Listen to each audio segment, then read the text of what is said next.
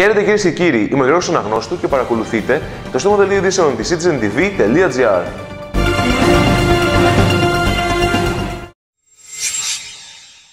Την διακοπή παροχής διοικητικής υποστήριξης του Δήμου Θεσσαλονίκης προς τους Δήμους Πηλέα, Χορτιάτη και Βόλβης αναφορικά με τις πολεμικέ τους υποθέσεις αποφάσισε το Δημοτικό Συμβούλιο Θεσσαλονίκης λόγω της ισόρρευση πολλών υποθέσεων.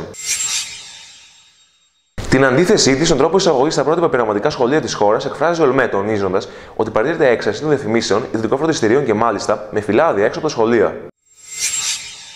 Τον Υπουργό Ανάπτυξης, Ανταγωνιστικότητας, Μεταφορών, Υποδομών και Δικτύων, Κωστή Χατζηδάκη, θα δεχθεί αύριο στο γραφείο του ο Περιφερειάρχης Απόστολος Ζυζικώστα. Νέα επίσκεψη στη Χαλκιδική πραγματοποιεί το ερχόμενο Σάββατο η Γενική Γραμματέα του ΚΚΕ, Αλέγα Παπαρίγα, η οποία θα συναντηθεί με τις Επιτροπές Αγώνα Κατοίκων και θα μιλήσει για μία ώρα στο Πολιτιστικό Κέντρο Ιρισσού. Ο Άνθιμο μίλησε για την προσφορά της Εκκλησίας της Κύπρου και την απουσία αντίστοιχης κίνησης από την Εκκλησία της Ελλάδος. Μάλιστα, για τι καταδίκε Παπαγεωργόπουλου και Ψωμιάδη κράτησε αποστάσεις από τον πρώτο, ενώ δικαιολόγησε το δεύτερο. Αυτό που ήθελε και μάλιστα πολύ εύκολα πήρε ο Πάοκ από το Καραϊσκάκι.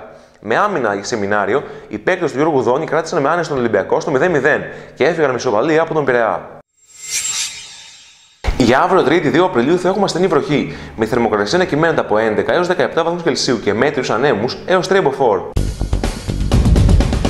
Αυτές ήταν λοιπόν οι πιο σημαντικές ειδήσεις μέσα σε 2 λεπτά. Ευχαριστούμε πολύ που μας παρακολουθήσατε. Γεια σας!